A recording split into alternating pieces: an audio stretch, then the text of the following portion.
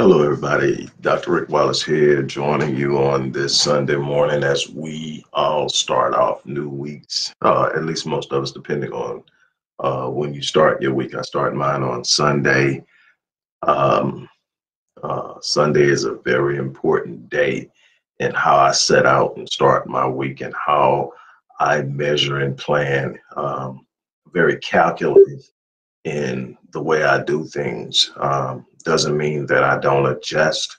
Doesn't mean that I don't uh, allow myself to evolve with the need. It just seems it means that I have purpose for every moment. I have purpose uh, for my time, and when it calls for me to move away from something I have planned, I'm able to do it easily and move into what is required of me but it has to have a purpose before I get to it. I never allow myself to get to a moment in which I'm trying to figure out what I'm going to do because that moment is passing while I'm sitting there thinking. So either a moment is spent like today, a great deal of today is going to be actually preparing moments in the future. Uh, setting what I'm going to be doing at a particular time, setting what's important, what's prioritized, what's going on or it'll be actually in carrying out what's been set forth and evolving and adopting and adapting and all of this other stuff that's required for me to be effective in what I do. But first and foremost, it starts with me sitting up saying, okay, every second has a purpose, whether it's spending time with the family, whether it's giving my wife some specific time she needs, whether it's cooking for my wife, like I did it uh, on yesterday, whether it's getting on my wife's nerves, which is a part of my daily plan. I gotta get on her nerves because that's how we have fun. Uh, whatever it is, uh, it has a. I mean, you know, and, and, and it changes. Like uh, yesterday, uh, a portion of the day was spent at the beach with the kids. Uh, that wasn't in my plan until she hit me up the night before and said, "Hey, you want to go to the beach?" And it's like, "Hey, this is what the family needs. So I changed. But I had a plan for the time that was spent at the beach, but something more important and more pressing came. I adopted, I moved toward it. We did it. We had a great time. I came back, I made up for it. I finished making up for it today. And it will never be, it, it, it, it turned out to be exactly what it needed to be at that time. It's just that you have to have some intentions for every second or every moment, 86,400 seconds in a day. There has to be an intent for every one of them or you lose them because the moment you enter into a second and you don't have something planned for it the time you spend thinking of something to do you've lost it. So you've got to have an intent for it. Now when when the demand comes that you make an adjustment make a change adapt to something new or adapt to a need or a demand you do it. That's how you get it. You've got to have an intent but you also have to have a willingness to adapt but if you don't have an intent, you get there, you're lost. You lose time. So much of so many of us throw away time because we don't prepare for it. We just get there and say, well, what you know, we're gonna figure it out. No, you're wasting time. You're wasting time. Hold one second. Somebody's at the door. Hold on. I, got and it's I don't know. I can't even pause this thing. I'm going to have to get back.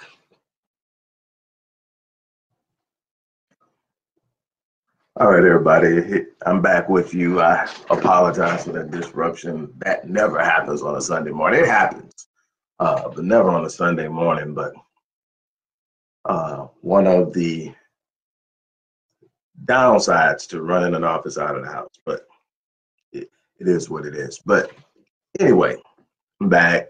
Um, like I said, you've got to have an intent uh, for your time. It doesn't mean that you don't adapt. It doesn't mean that you don't make the necessary changes along the way to meet the demands of a moment.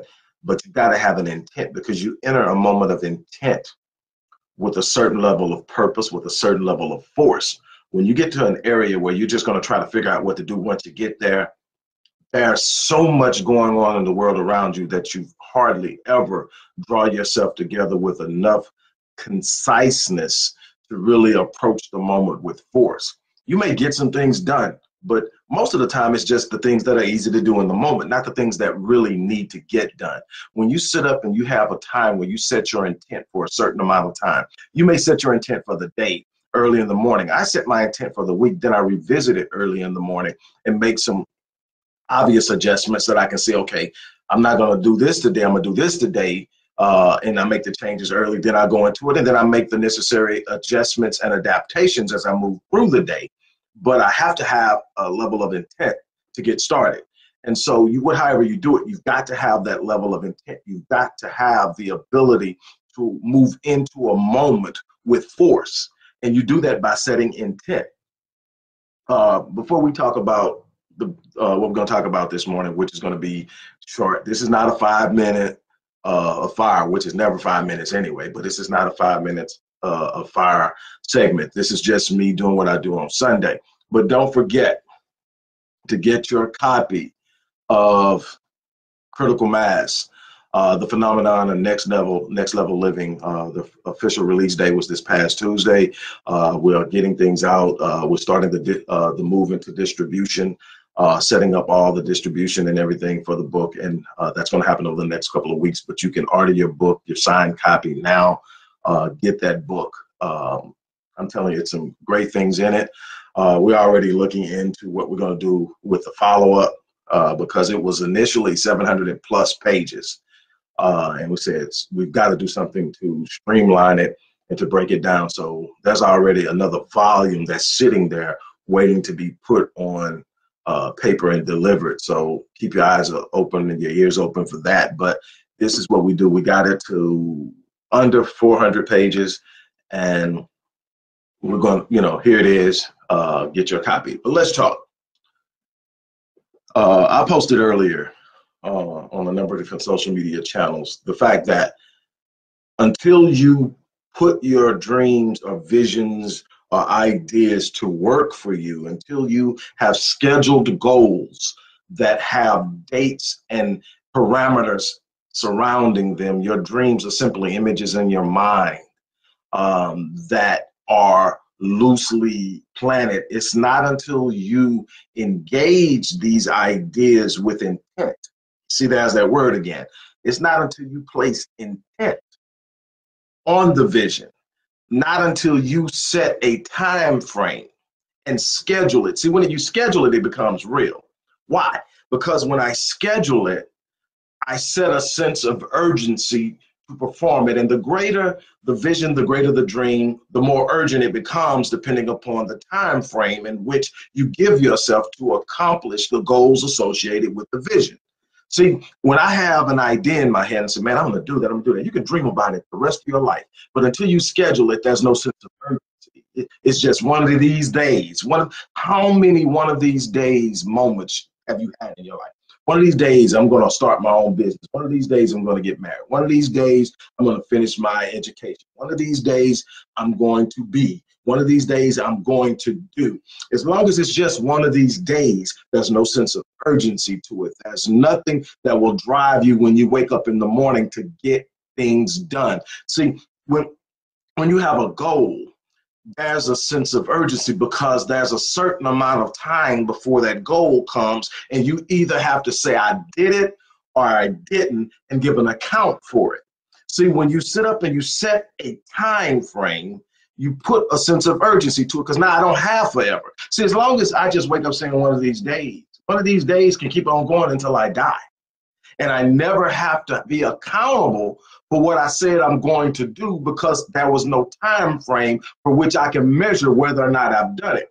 Now, what I don't want you to get caught up in is having a goal that you set and don't reach by the time frame. Very rarely do I actually hit a goal that I initially set on the time frame in which I set it.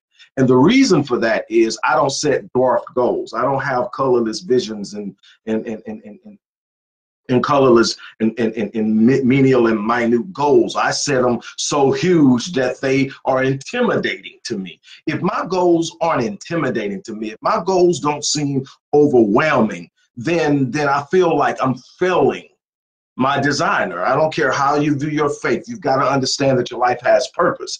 When you evacuate purpose from your life, it creates capriciousness because that's nothing for you to aim after. That's nothing for you to set after. And when you don't have a set target, that you know belongs to you. It's your space, it's your place, it's where you do your thing. If you don't have that, as soon as it gets rough, you recalibrate, you relocate, you redirect. Why? Because you're getting away from the discomfort. But when you have a target, something for which you know you're created, and that target is all you see, it doesn't matter what's put in front of you. You recalibrate, but you don't change the target. You may go over, you may go under, you may go through, you may go around, but you are going towards the target. And so I fix myself to get every ounce out of me. And I hold myself accountable to it. And I'll be honest with you, there are some times I get to a situation and I get to a place and I ask myself, you didn't get it done. Did you not get it done because you gave everything you had and you're just a little behind? Or did you not get it done because you didn't give enough?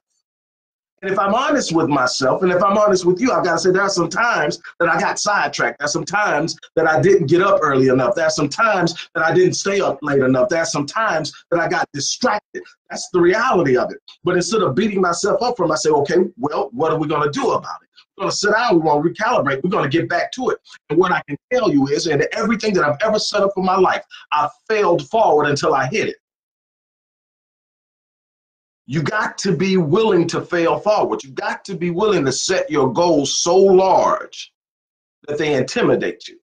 I believe it was Steven Furtick that said, if your goals that you have, if the vision, the vision that you have for your life isn't so huge that it intimidates you, there's a good chance it's insulting God. See, you, you, you, your, your design is not indicative of mediocrity. Your design is not indicative of being average. Your design, when you search your design, when you look at the intricacies of how you're made, that the way, the things, not the things that make you common to everyone else, the things that distinguish you from everyone else, you will find that you were not designed for mediocrity, that you are not designed for being average, that there's something inside of you that dictates and demands that you perform at a level of excellence that cannot be questioned. But what happens is we fall into the category of commonality. We find the place of comfort. So you don't get greatness, you don't get exceptional, you don't get phenomenal by performing in the in, in the mindset and maze in, uh, of mediocrity.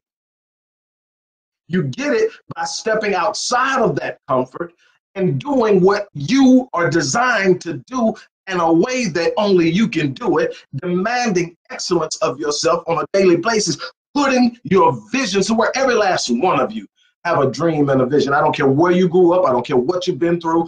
I don't care what your home situation was, what your socioeconomic situation was. I don't care how many mistakes you make. At some point in your life, you had something inside of you that fueled you that you thought, man, I would love to then life happened.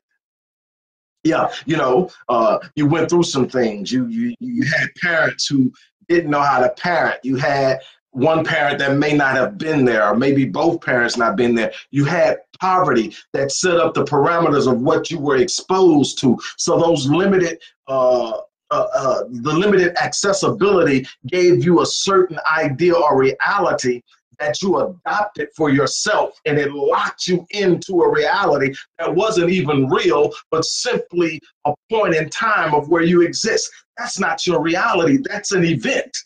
But you adopted it. And so you stopped looking outside of that parameter you stopped looking outside of what was going on and you took that to be what was your reality. And the more you focus on a reality at any given moment, the more power you give it to influence your future realities, which are events in, in time that are progressive. Every second is a new reality, every second comes with new potential. But if all you got when you enter that moment is what you've been holding on to before you got there, you reproduce it.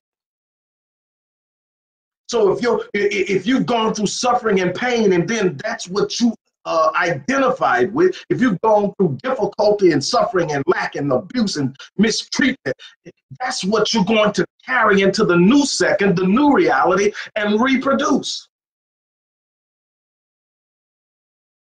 Everybody's life is going to have ups and downs, uh, ebbs and flows, difficulties, disappointments, frustration. It's a part of life. Here, check this out. It's not the circumvention of life's vicissitudes and struggles that create the uh, phenomenal and the extraordinary. It's the perseverance that you that you dis- demonstrate in those moments that determine. It's the commitment to the cause, to the purpose, to the target, to the destination, to the destiny that determine that determine what and who you will become. You've got to put your dreams to work. You got to stop waiting on somebody else to open the door for you. You got to stop waiting on somebody else to drop an opportunity in your lap. Opportunities don't fall out of the sky. They are discovered, uncovered, extracted, or created. You got to wake up in the morning and say, you know what, this is what I'm doing. This is my goal. See, when you have goals, you wake up with an intent in mind. When you wake up, you wake up with a purpose in mind. You wake up with power in hand because you're executing your personal sovereignty. You're saying that I'm going to wake up and then this is what I'm going to do. I am going to get up and I'm going to go out and find an opportunity that works for me, that does what I needed to do. And, and if an opportunity doesn't exist, I'll create one. What I will not do is sit up and wait on somebody to discover me. I will not sit up and wait on somebody to give me uh, a, a, permission. I'm not going to sit up and wait on somebody to validate my belief in myself. I'm going to get up. I'm going to go out. I'm going to do something about what it is that I say that I want. I'm not going to give power to, to, to, all of the things that are around me that speak against me. See, I am going to do what I'm created and capable of doing. Use my mind to dispel the negativity and the opposition in my life to create the reality I want. You know, if you're a Christian, you call it calling things that are not as though they are. It, it, it, it's about arresting any idea of thought any word spoken by you or anyone else that speaks against the destiny that you have chosen for yourself.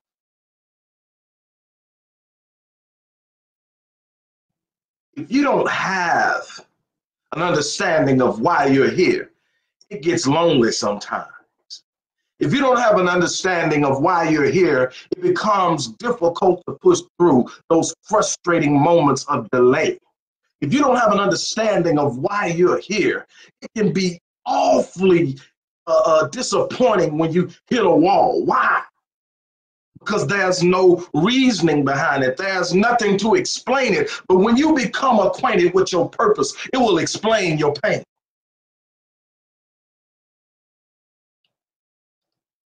You've got to get to a point where your purpose is explaining your movement, your experiences your, your, your, your, your, your, your moments.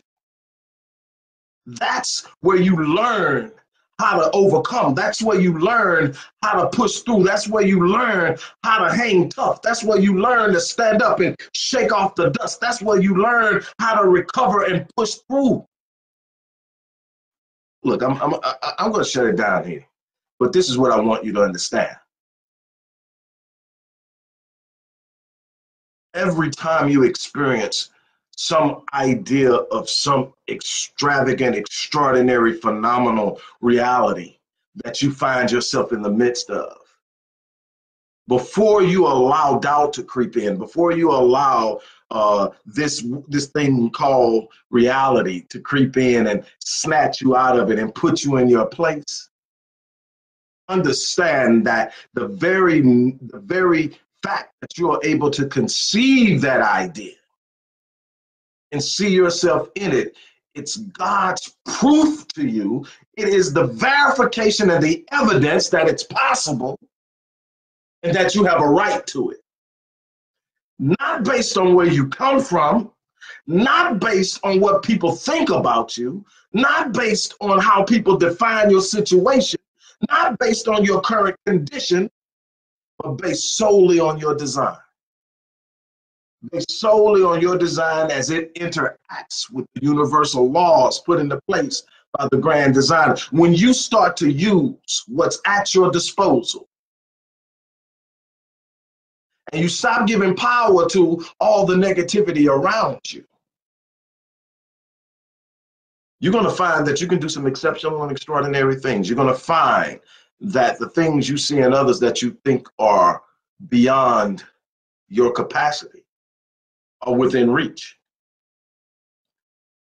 You've got to live your life believing in you, even when no one else does. You've got to develop a mindset that does not seek the approbation, approval, and validation of other people. That you use your life to uh, move upon the ideas and thoughts of other people to convince them that what they thought was impossible is possible. I don't wait on nobody to validate my next move. If I can see it in my mind, that's all the validation I need. Doesn't mean that I'm where I need to be to get it. Doesn't mean that I have all the pieces of the puzzle. It simply means it's possible. And I work from possibility. It doesn't have to be perfectly laid out for me. It doesn't have to be all set in front of me for me to see it. I just need to know that it's possible. And now I know that if I can see it, it's possible. Now, how much work am I willing to put in? That's the problem. That's the problem. A bunch of people got dreams, but very few are putting their dreams to work. They'll go to work for somebody else's, but they won't put theirs into work because it comes with too many risks. See, they'll tie into somebody else's failures and be okay with it because it doesn't identify them as a failure. I don't care about how many times I fail. I'm more concerned about how many times I get up. Uh, if I get knocked down a thousand times, as long as I get up a thousand times, I'm good. Because you don't get knocked down that many times without trying that many times. Some of you haven't been knocked down too many times because you don't get out there.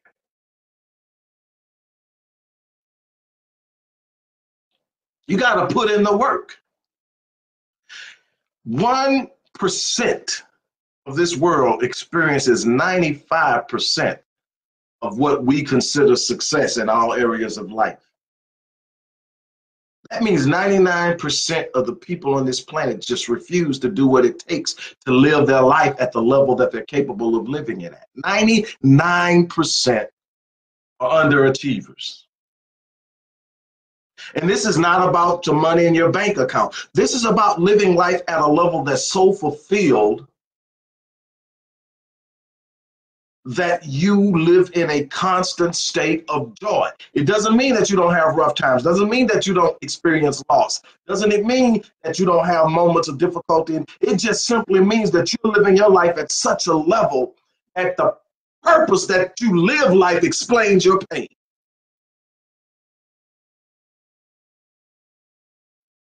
It's time to wake up. It's time to step out of that place of, uh, uh, uh, of, of average mediocrity, casual living, just waking up every day doing what everybody else does, and then being frustrated why we have the same thing that everybody else has, pretty much give or take a little. In order to get what people don't have, you got to be willing to do what people don't do. It's that simple. If everybody's waking up at 7:30 and 8 o'clock, you're gonna have to get up at 6:30. You're gonna have to get up at 5:30. You're gonna have to get up at five. You're gonna have to put in more time. You're gonna have to stay up a little later. You're gonna have to pass on some of them things that everybody you can't turn up every time everybody else turn up because see, you're not getting anything done. If you're not turning up to have a meeting with somebody about getting something done, that turning up has very little purpose. Yes, well, I need to have fun. I need to have fun. If you're living a life that what you do on a regular basis isn't fun to you, that's part of the problem. I'm not saying that you don't get out and enjoy. I'm not saying that you don't have a earn the vacation. Stop taking a vacation and earn one. That's a difference. When you earn a vacation, the whole time you're on it, you're never thinking about what's going to happen wrong when you get back because you're not there. That's an earned vacation. When you ain't got to worry about what bills are going to be due when you get back. When you ain't got to worry about how screwed up your company is because you haven't put it together right and you don't have all the pieces in place when you get back. All of those things that you worry about while you're on your vacation really negates the vacation. But when you earn a vacation instead of taking one, when you get there, all the stuff that most people leave behind and got to return to, you return to it. It may be a couple things that happen while you were gone, but they're easily fixed because you got things set in motion. You know how you want your company run. You know how you have your family set up. You know how you do business. You know how you uh, have your education. Whatever you do, earn it.